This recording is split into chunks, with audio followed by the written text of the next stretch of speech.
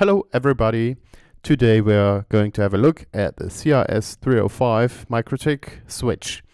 It has four 10G SFP Plus ports and one dedicated 1G copper port with which you can power the device via PoE. Here are some very nice pictures. The device is all made from metal and it is a really good build quality, I think it is, even though it is really affordable.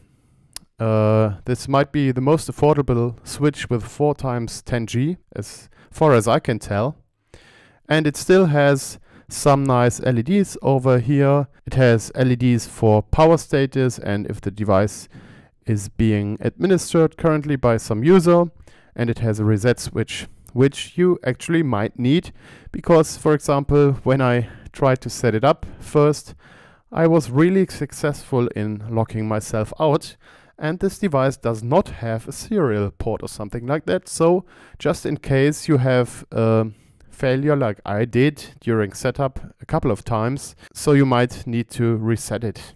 On the back you can see that there are two times uh, DC ports, so you can plug in two power supplies just in case if one fails. This is also very uncommon for those small devices, I mean, it's of course a 10G, 4 times 10G device, so it's maybe uh, operated more in, in, in Soho or businesses, but in my case, I'm using it in a home environment and I don't have two power supplies plugged in, but it is nice to have that option, to have some kind of redundancy. What's really nice of MikroTik is that they publish benchmark results here on their website.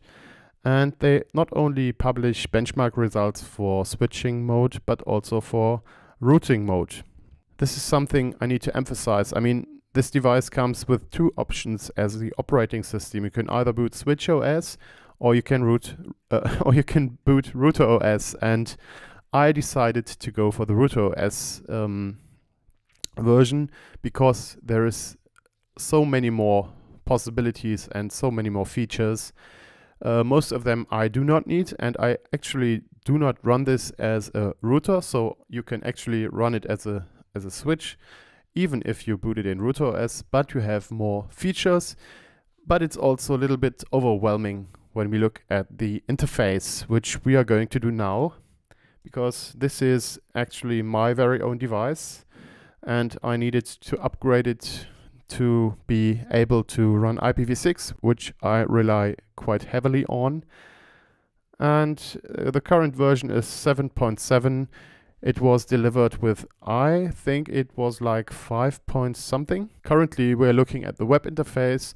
There is actually a dedicated uh, desktop application, which I happen to like a little bit better but it doesn't run on this most recent version of macOS. It does actually run on Linux, um, even though it is originally a Windows application. But it behaves a little bit more consistent, or maybe I, I just like the interface a little bit better. I have this situation. I mean, I have my main switch which most of people probably have when they buy such a device. This is no core switch. This is like more like an edge switch. And um, so you need an uplink port, of course, which most probably will be 10G. and um, I mean, the device needs to be managed via a IP address. And um, Normally, this IP address is bound to the VLAN 1, the default VLAN, but of course, I'm not using that for my management devices, so I was facing some kind of an obstacle. How do I do that? I would like to plug it in, and I don't want a dedicated uh, management port connected, but the, the uplink port should at the same time work as a management port as well. So what do we have to do in order to achieve that? So it is a little bit overwhelming, especially when you work with a router OS like I do. Let's see. So we have a bridge. Even in the default settings, you have a bridge over here. But in contrast to the default settings, this is uh, on the one side uh, set to VLAN filtering. In default, it's off. and also in default the rapid spanning tree protocol is being used. I disabled it because I don't have use for it. I won't plug in a loop. Secondly, the VLAN filtering, don't activate it right away because this will lead to locking you out. And uh, in such case, you would have to need to reset the complete device because there is no fallback like a serial port. The first thing you would do is go to VLANs and just create all the VLANs you are going to use. And uh, you can also add some kind of a comment. Uh, you can see that all of those ports are currently tagged in the uplink port, which in my case is named SFP Plus uplink Aruba. The Aruba switch is my main switch over here. Sadly, you cannot, let's see, here you can define the interfaces. I changed the naming a little bit so it is more clear what is connected actually to the port. Sadly, there is no option to make some kind of comment, so you have to somehow put it into the name, but at the same time, I still want to know what port it actually is. So I suggest you do not remove the number of the port, but just add some kind of naming convention into the name. Apart from the interfaces here, the bridge is also listed, but when, when we click it, we actually, we are going to go into this very section, into the bridging section. So even if you are on the interface, but if you click bridges, you will hop into the bridge view. This is just a side note, not so important. Uh, the ports section actually is also not very interesting right now. What's most interesting is, well, for once you need to define all the ports and then also say what ports, uh, no, define all the VLANs and then say what ports are in which VLAN for once uh, tagged and on the other side untagged. So as you can see over here, you see that I set the bridge untagged onto this management VLAN I use. And only after that you can actually change the IP addressing uh, to, well, in your case, I would say you first add IP addresses before you delete existing ones. And then you can under IP addresses, you can set an IP address and assign it to the interface, to the bridge, as well as in the IPv6 section, you can do the same for your IP addresses. You can, of course, uh, use something similar, uh, something different than I do, like I assigned it statically. You could, of course, use like the DHCP, router advertisement, and stuff like that.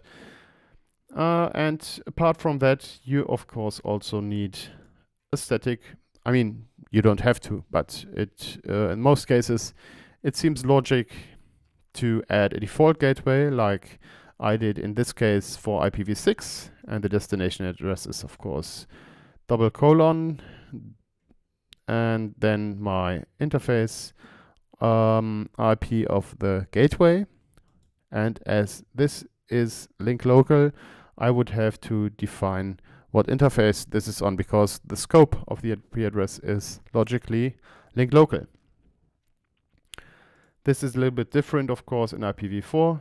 Most people find it more intuitive. Uh, let's see. It's a little bit overwhelming, all those menus entries, especially when you have different menus open. Do not despair. Once again, routes. Well, and here it is. It's a default gateway. What we did we do? We defined all the VLANs defined what ports are tagged, what ports are untagged, added IP addresses, added default routes, and then you would have to need to configure the bridge because you need to set VLAN filtering to on. I mean, this is the most logical way to go. There are different options to handle this actually, but I prefer this one. I mean, there are some different MikroTik switches which um, do not perform very well when you set this to VLAN filtering.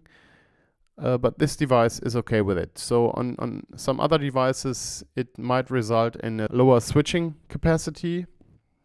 But as far as I know, please correct me if I'm wrong, but uh, as far as I know, this won't have uh, any impact on the switching speed. Again, uh, you need to put the switch into the VLAN you would like the IP address to reside in. In my case, it's 62. But uh, this is basically it if you would like the IP address not to be in the v default VLAN.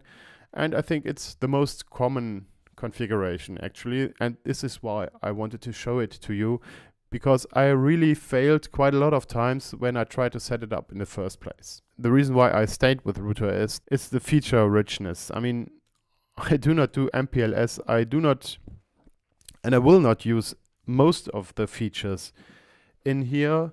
But for example, let's see here.